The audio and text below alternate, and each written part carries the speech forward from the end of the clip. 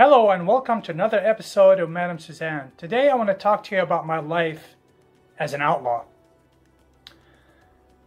If you haven't heard my story, I was an escort agent for almost 30 years, 20 of them online, but even before that, going back 40 years from today, I was an outlaw. I used to uh, sell coke, then I moved to marijuana, and then I got into the escorting thing uh, in uh, basically in mid 90s, early 90s, mid 90s, and then um, all the way till 2017 when I got in trouble. But um, today I want to focus on how I lived my life as an outlaw, right? To be honest with you, when I look back at my life, I cannot believe that I lived that type of lifestyle. Uh, it's exciting as a young, you know, man. It was never a dull moment. There's always something going on. It was just hustling, go, go, go the whole time. But it comes with a price. Yes, I made a lot of money. However, what came with that money? What came with that lifestyle? Number one, you can never, ever, ever relax. Ever relax. You're always looking over your shoulder. You're always having trust issues. You're always wondering you know, who's real, who's not. You're always wondering who's going to tell on you. You're always wondering if the calls are being recorded. You're always wondering if you can pay for anything other than cash. Uh, you're always worried about your bank bank account, uh, how much money you have in your bank account. I mean, the list goes on and on and on and on. It is not fun, let me tell you. Uh, let's take it to the escorts. I taught my escorts how to always be careful and be careful who they let into their circle trust. You heard me talk about this because those people could make you and break you, especially when you're doing something illegal. Uh, it is not fun to always be on the defensive, to always being worried when you're at parties or gatherings as far as your personal life that people are going to ask, hey, what do you do for a living? Right? and you got to lie to cover up for what you really do.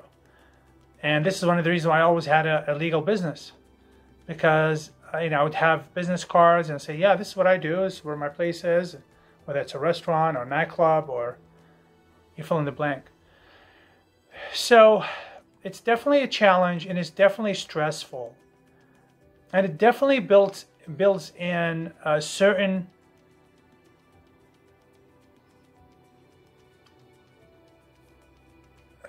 I would say weakness in your character because you have trust issues, you have uh, you know sleeping issues, you have anxiety, you have all sorts of stuff that over the time, over a long period of time, it starts becoming uh, a catalyst to other issues that you might develop in your psyche.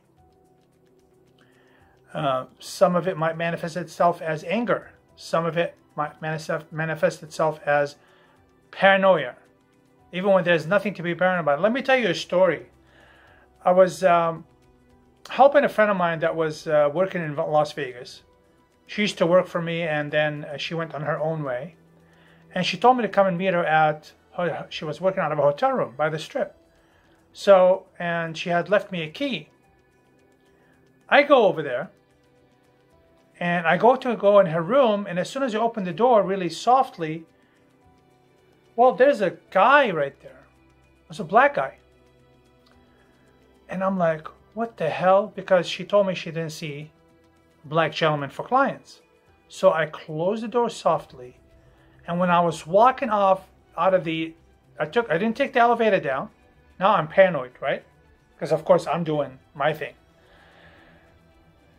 I take the stairs down and and she was on like eighth floor or something right and when i'm going through the side door i see two undercover cop cars that parked right in front of the side door and they're notorious for doing that when they're ready to getting ready to arrest somebody. Now my paranoia is up to the roof, right? It's like on high, high, high alert. Now I ditch my car there. I leave my car in the parking lot, and I uh, started running in the back of the hotel, which was an industrial area. So now it's like one o'clock in the morning or whatever it was, and here I am scaling fences and going over things and really super paranoid. I've never been that paranoid in my whole life, right? And I circle around to all the way to the other side. I can't really remember exactly what I did, but I end up in a cab. Now I'm telling the cab take me all the way to the other part of Las Vegas. So like now I'm like going towards Henderson and stuff.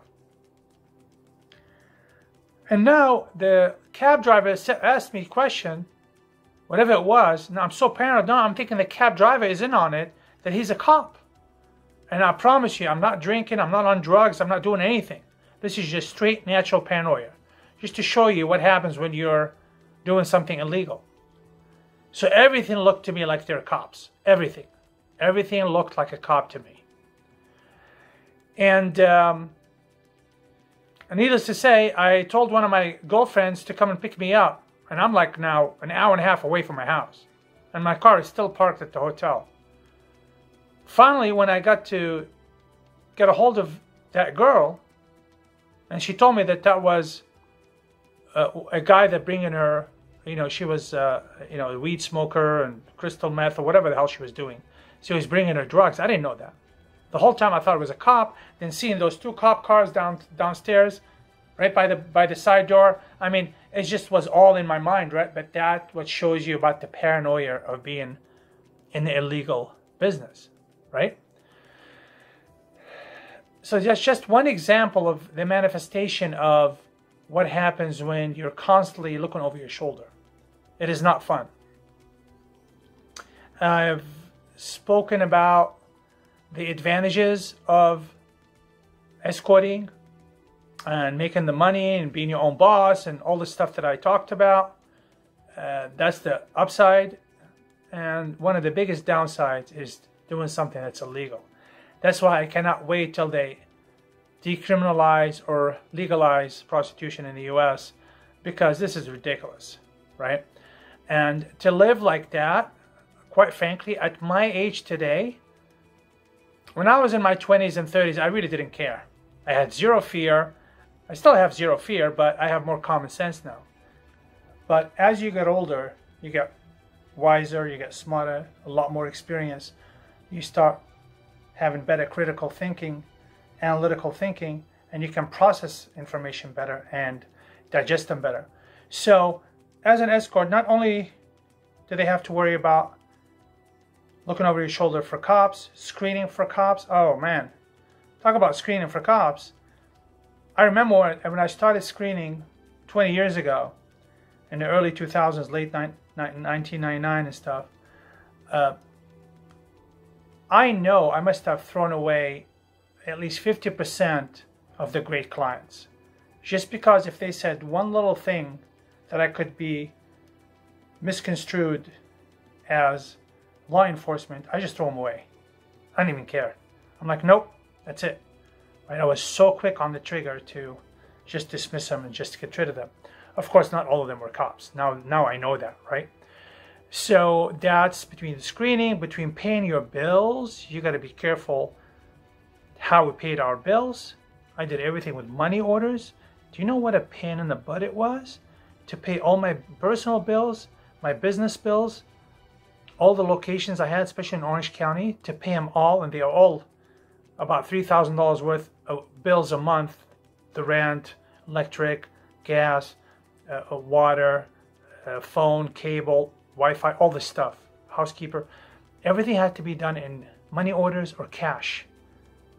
Now, times 12 places, plus my place, plus my mom's. I mean, it took me two or three days to pay the bills. Not because I didn't have the cash, of course, but because I had to do it a certain way because we are doing something illegal and it's paranoia. So you got your screening with your clients. Always looking out for cops.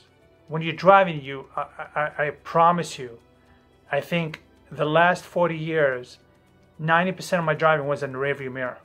Sometimes I didn't even know how I got to where I was going, how fast I, I would always miss exits because I didn't know where I was at because I was so focused on if anybody's following me.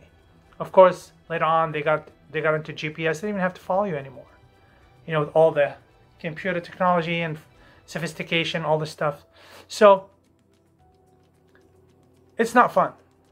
And I find myself today, even though I'm not doing anything illegal, 100% legal, I find myself looking over my shoulder and looking into my rearview mirror. And I'm like, what the hell am I worried about? I'm not doing anything. You know, I, I don't owe anybody anything. I did my time. I'm off probation. I finished it successfully. I am scot free, free and clear. I can go anywhere. I can do anything I want. And I'm still paranoid. I got that, right? I don't think I'll ever get rid of it.